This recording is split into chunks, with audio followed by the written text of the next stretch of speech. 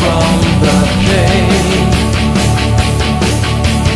Drowning in a memory of the times we missed.